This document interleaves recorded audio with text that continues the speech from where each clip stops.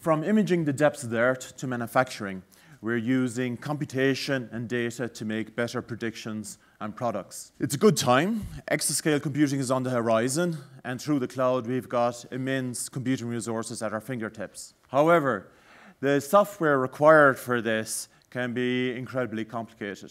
It requires a combination of end user expertise, mathematics, and computer science. All of this is coming together to form a near impenetrable technological barrier. Even to make small incremental steps forward is requiring massive investments into large teams of specialists. And this, of course, is a problem for SMEs and like it is forming the, the, the, skills crunch. So for me, I think this has got many parallels to the situation we had in computing back in the 1950s. Back in the 1950s, all software was still written in machine code. And this is quite a painful process. Then the big idea of the day was to develop higher level programming languages that are more human friendly and like and develop compilers and this is software that automated the generation of the machine code one of the first to be developed was actually fortran which amazingly is still in use today However, the high-level languages of yesterday are really today's low-level languages.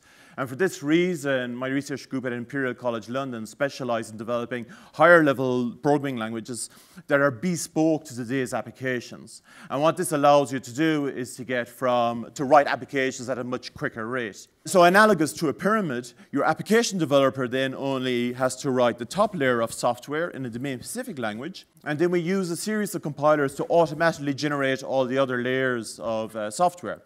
So in effect, the application developer might only have written 10 lines of code in a domain-specific language, and millions of lines of code are automatically generated. What this framework really enables is a genuine collaboration between domain specialists, mathematics, and computer science it becomes possible to develop new complex applications without the need to understand the complexities of exascale computing. And because we're using software to write software, we can implement optimizations that just would be unthinkable for a human programmer to attempt. So we go away from the, from the notion that we have to develop a workforce of superhumans. Instead, what we do is we develop smarter technologies uh, to make us more productive. Automatically generated software can be made much more reliable and is already outperforming code that has been handwritten by experts. So we've already demonstrated this in the area of seismic imaging. The oil and gas industry collect petabytes of data and they use supercomputers to create images of the Earth's subsurface. Already we are able to generate in seconds uh, better code than what teams of developers develop over a number of years. This approach, this framework, it also frees up specialists to innovate within their layer of the pyramid. Their innovations then can be quickly integrated for everyone's benefit.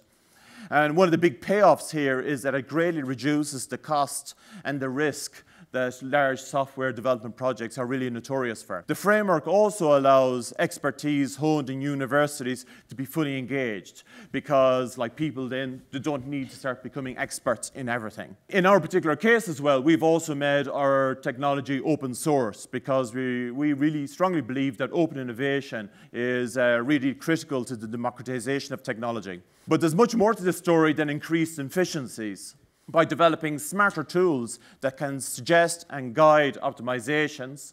Uh, we greatly extend human capabilities, and ultimately, this leads to better outcomes. It also makes training much easier. For big companies, this means higher uh, productivity, more innovation, and lower costs, better, faster, and cheaper. For SMEs, this means access to technology that would be otherwise inaccessible or too expensive to develop. So I believe that software writing software will disrupt every corner of the digital world from monitoring the earth to like designing more efficient energy devices. It's actually the sheer scale and complexity of legacy software that has uh, limited innovation and progress to date. And I think this is on the verge of being swept away by a whole new generation of software technologies.